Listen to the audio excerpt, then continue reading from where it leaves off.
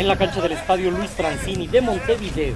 La tarde de este martes, Guadalajara puso punto final a su preparación para enfrentar al Defensor Sporting en el cuarto duelo de la fase de grupos de la Copa Santander Libertadores. Bajo un clima frío, en el cual hubo viento y lluvia durante la práctica, el rebaño comenzó su entrenamiento con un calentamiento dinámico, para después dar paso a las labores futbolísticas de su cierre de preparación.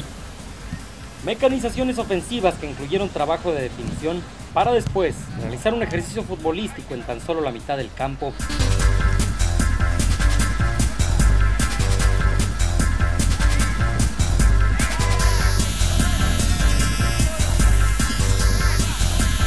Posteriormente, cascarita futbolística en espacios reducidos, en el que la prioridad fue la tenencia y el correcto traslado de la pelota.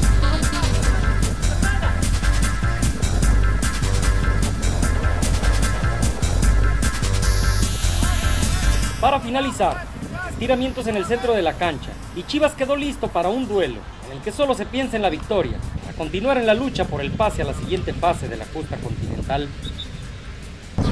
Estamos, contentos, alegres, igual que, en cada partido. Venimos a, proponer como siempre Uruguay. Digo, el equipo una vez contento, trabajando como siempre y digo, estamos, a, en las condiciones de la mejor manera y, y estamos listos para ganar el, el partido de mañana.